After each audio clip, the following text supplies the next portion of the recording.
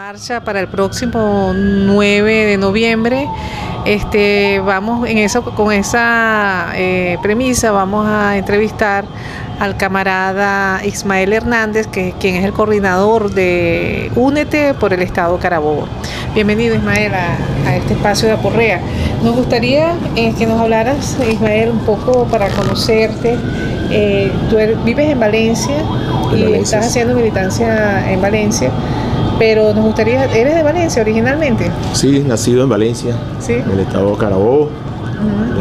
Valenciano. Valenciano, sí. Eh, bueno, y he recorrido muchas partes del país en mis actividades eh, sindicales.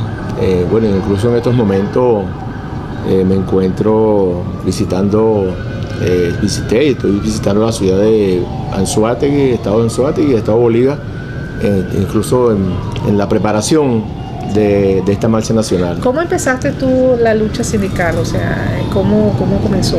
Bueno, mira, mi lucha sindical empezó en el año 77. Entré a laborar en una empresa textil en la ciudad de Valencia. Eh, allí empecé a ver las luchas que estaban dando los trabajadores. En ese momento se estaba desarrollando una discusión de contrato colectivo y fue una lucha muy dura que dieron esos trabajadores. Yo apenas estaba recién ingresando, tenía apenas un año laborando en esa empresa, pero me ¿Era tu primer trabajo? Era mi primer trabajo en empresas privadas. Yo había laborado en otros espacios. ¿Qué edad tenías eh, más o menos para esa época? Eh, para esa época tenía 21 años. 21 años. exactamente, y me llamó poderosamente la atención la forma como los compañeros que en aquel momento dirigían esa organización sindical eh, nos consultaban todo lo concerniente al conflicto, la información, cómo se estaba desarrollando la, convención colectiva y los obstáculos que, colocaba la empresa para no aprobar las reivindicaciones de los trabajadores. Esa manera democrática como los, el, sindicato y por supuesto la participación, habíamos 1.200 trabajadores en esa época, eh, eh, la manera como los trabajadores participaban bueno, me, entusiasmó mucho y fui en ese momento un activista más del conglomerado de los trabajadores. ¿Y había trabajo ideológico en ese momento? Eh, allí, en aquel momento, los compañeros que dirigían ese sindicato eh, pertenecían al movimiento de izquierda revolucionaria, el MIR. Eh, y a mí me invitaron a una reunión, ¿verdad? De formación política, e incluso me me llamaron pues a, participar en unas elecciones que se dieron a posterior un año después y a partir de allí abracé las ideas revolucionarias, las ideas, la lucha por las reivindicaciones de los trabajadores. Y era duro porque en esa época eh, todo lo controlaba la CTV, ¿no? No, en esa época la eh, en esa época por supuesto eh, el control lo tenía la CTV y en Carabobo luego del eh, desarrollo de las luchas que se daban allí, eh, las luchas eran muy fuertes. Ahí tenía controlado eh, el Estado, era controlado por, la burguesía. los sindicatos estaban controlados por una, no, yo no digo una burocracia, una mafia sindical que incluso contaba con armamento. Ya, es bueno recordar esa época porque a veces se nos, se nos olvidan las las experiencias y, la, las historias. Eh, allí eh, eh, funcionaba lo que nosotros llamábamos las bandas armadas de acción democrática. Ellos a través del terror, te pongo un ejemplo, un ejemplo gráfico, cuando un sindicato se le escapaba de las manos o lo ganaba un sector clasista o un sector independiente de cualquier grupo de trabajadores, ellos por la fuerza, es decir, con esas bandas armadas, eh, le arrebataban el triunfo a los trabajadores. Cuando no podían ellos, entonces enviaban a los cuerpos represivos, estaban al servicio. Habían los famosos cabilleros también. Cabilleros, ¿no? Eh, ahí el sector construcción. Ahí habían dos sectores que eran, bueno, eran terribles en esa época. Era el sector de la construcción y el sector de los trabajadores de los muelles. Ellos utilizaban esos trabajadores como un cuerpo de choque contra cualquier huelga, contra cualquier conflicto. Eh, incluso cuando no podían de esa manera, entonces llamaban a los cuerpos represivos. Es decir, fue una época difícil para nosotros en, aquellos momentos, pero bueno, pudimos superar y pudimos incluso derrotar, bueno, la, historia demostró que sí, se puede derrotar a una burocracia, a una dictadura, que si los trabajadores nos organizamos, vemos que yo creo que el avance que hemos dado cualitativamente y cuantitativamente en, un espacio de casi 20, 25 años, yo digo ese espacio porque fue el que viví, pues, estaban dando luchas toda la vida. ¿Ha madurado? Eh, yo creo que la clase, no, no, no, por supuesto la clase obrera ha madurado y eh, yo creo que el salto, el salto que se dio, que se está dando en este proceso revolucionario con sus avances y retrocesos, los trabajadores eh, hemos aprendido, o han aprendido a la organización, han aprendido que para lograr, para lograr algo hay que organizarse y eso es lo fundamental que han tenido los trabajadores. Bueno, y en eso andamos. En estos momentos, como tú lo mencionaste anteriormente, eh, los trabajadores nos estamos preparando para la marcha del 9 de noviembre. Eh, esta marcha eh, hemos venido discutiendo a nivel de los estados, ya hay 18 estados que hemos visitado, ¿entiendes? Los distintos coordinadores nacionales.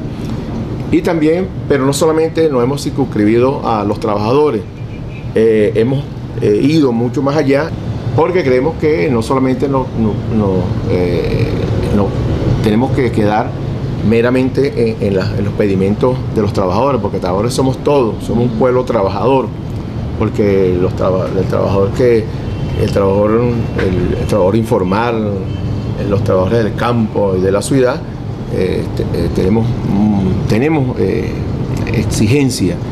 Y entre y queremos entonces, eh, creemos que esa fecha va a ser histórica para el movimiento obrero organizado. Mira, nosotros hemos eh, elaborado, se está elaborando un documento en donde los ejes fundamentales, son muchos, pero los ejes fundamentales de esta movilización, en primer lugar, es, le vamos, se está elaborando un documento en donde eh, vamos a entregarle a la Asamblea Nacional la solicitud que sea aprobado ya la ley orgánica del trabajo, es decir, una nueva ley orgánica del trabajo. Eh, nosotros creemos que decir, como lo dice un, un, parlamentario, y lo lamentamos que sea así, lo dice un parlamentario del proceso, que no, que hay que esperar. Esperar el 2011, en 2011, ¿sabe? Eh, el argumento este de que eh, vamos a ver qué opinan o cuál va a ser la posición que van a tener los diputados de la oposición, mira, eso está claramente eh, definido. Ellos vienen a, entorpecer todo lo que sea eh, eh, los beneficios de los trabajadores o los, de los sectores populares. Ellos lo han dicho abiertamente. una pregunta, este, y seguimos con el tema. Eh, ¿Quiénes redactan esa ley? O sea, ¿ustedes le ayudan a redactar esa ley para que valga a, la Asamblea? Mira, nosotros tenemos una preocupación, es la siguiente, entrando en el tema de, la exigencia fundamental. hace un año, varios parlamentarios recorrieron el país varios estados e hicieron asambleas, se, se, hizo asamblea con trabajadores de los diferentes sectores. Ahí hubo muchos aportes de los trabajadores para que, se, para que fueran incorporados a esa nueva ley del trabajo. Entre ese está, por supuesto, la reducción de la jornada de trabajo, está el que se, se reincorpore de nuevo la retroactividad de las prestaciones sociales, pero lo que nos preocupa es que no se ha publicado. Ellos dicen que tienen un proyecto en la Asamblea Nacional. Nosotros no sabemos todavía dónde está ese proyecto. E incluso en el día de ayer hicimos una, una, una toma, eh, nos acercamos a la Asamblea Nacional para solicitarle a esa comisión que hiciera público. Nosotros queremos que se haga público, que se le entregue a los trabajadores, a sus organizaciones sindicales, el contenido de esa nueva ley del trabajo. ¿Entiendes? Entonces... Eh, no se sabe de dónde salió, quién la redactó, ni cuál es...